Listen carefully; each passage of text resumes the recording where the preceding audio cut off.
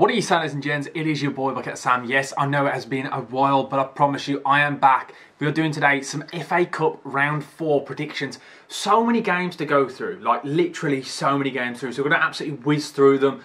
Let me know down in the comment section down below, though, your predictions for all of these games. Some absolute crackers. So we're going to start off with Manchester City versus Arsenal. Friday night kickoff. This has the recipe and everything that we want from an FA Cup fourth round fixture. Man City, FA Cup, don't go too well hand in hand. Last two seasons, going out in the semi final, one to Arsenal, one to Liverpool. I think it's going to be a really interesting game. And I think because there's such a good story with this game, I'm really excited for this one. Obviously, with the Premier League running to the title race, everything like that. It's just so many little layers to this game. I think, though, Man City are going to win this. I think they're going to go all out and really try and make a statement for the Premier League. So I'm going to go for a 2 0 Man City home win. And in the next game, we've got Walsall versus Leicester. Leicester, a pretty odd season, if I'm honest. So I, I think they really need momentum. They need some confidence. They're looking like a really weird side at the moment. Brendan Rodgers just can't get a tune out of them. They're so the only consistency with them this season is the fact that they're inconsistent. Um, in, yeah, did that make that, that in my head that sounded so much better? Then I said it out loud. That is absolutely horrendous. But what I, you got what I was trying to say. I think though Leicester are going to win this is again. As I said, they need confidence. So I think they're going to get a two 0 away win.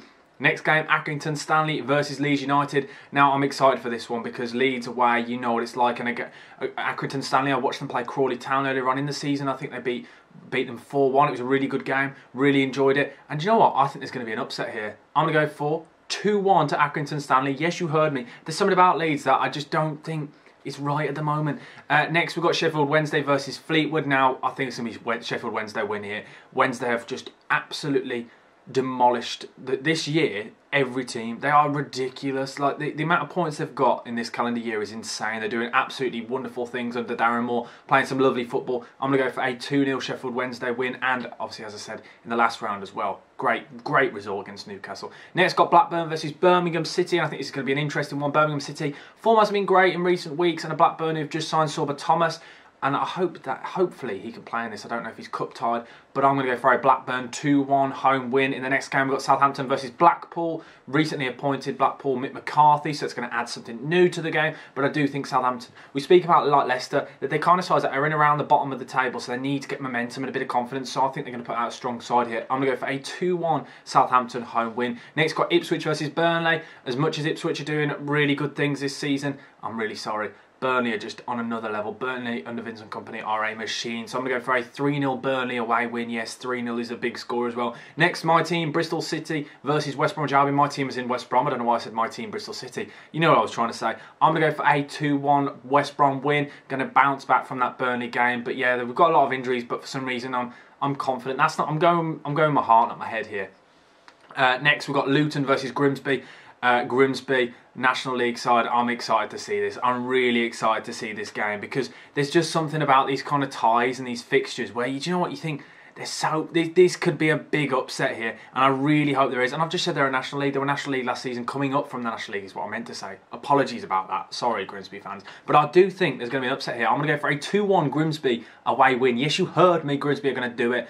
Uh, Fulham versus Sunderland next. Fulham have been absolutely unreal this season, but I can't see them putting out a strong side here. Going to rest players for the Premier League because they're pushing on for that top half of the table, and Sunderland have been doing great things. Outsiders to get promotion this season, surprisingly, they're doing really well. Diallo's been absolutely sensational. I'm going to go for a 2 0 Sunderland away win. Next game, Preston versus Tottenham. Tottenham need momentum again. We're talking about these Premier League sides that are underperforming, so they're going to have to put out a strong side here. I'm going to go for a 1 0 Tottenham away win. Yes, only winning by one. Uh, next, got Man United versus Reading. Ten Hag's men have been absolutely unreal since the sale of Ronaldo, and I'm sorry to bring up Ronaldo, but there, there has been a correlation since then. And I think they're going to want to go for as many trophies as possible this season. Really strong season, and I think they'll really go for this a strong side as well. So I'm going to go for a 2 0 Reading, sorry, 2 0 Man United win against Reading. The next game, Brighton versus Liverpool, and this is a really interesting game. Obviously, Brighton beating Liverpool earlier on in the season, and De Zerbi's men are absolutely unstoppable. It's just full throttle attack, and Mitoma versus Trent is always a good battle on that right hand side. So I'm really excited to see this one, but I do think Liverpool are going to win it this time because I think they're going to want to get revenge. So I'm going to go for a 2 1 Liverpool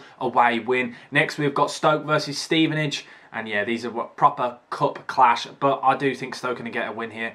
Not not been a brilliant season for them, so they're going to want a cup run. I'm going to go for a 1-0 Stoke City home win. Next, we've got Wrexham versus Sheffield United. The cup dream is still on for Wrexham. And uh, do you know what? As much as I think Sheffield United will do it because they've been absolutely unreal this season, I want Wrexham to win. So I'm going to go for a 2 0 Wrexham win. Yes, come on. We love a non league story like this. Derby versus West Ham next. Uh, the final game of the fourth fourth round of the Cup. Do you know what? Derby, I'm sorry, I think West Ham are going to do it here. They're not been great in the in the Premier League, and this is exactly what I keep going back to the point of. They're going to want to get some momentum. They need confidence. So I think they're going to put out a strong team, and David Moyes' men are going to get a win here. I'm going to go for a 2-1 West Ham away win. But thank you for watching the video. If you haven't already, please do smash the like button and do subscribe if you're new to the channel. Lots of predictions, lots of videos coming all your way. And if you haven't already, let me know your predictions down below. But thank you for watching. Book Bucket Sam over and out. Thank you. Goodbye.